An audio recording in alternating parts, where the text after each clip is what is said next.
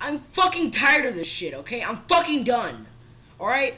I the fucking I Rockstar, you fucking pieces of shit.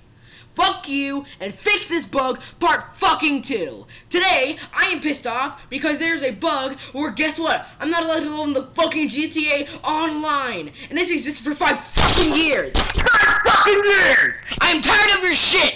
Fucking fix it already, you piece of fucking shit!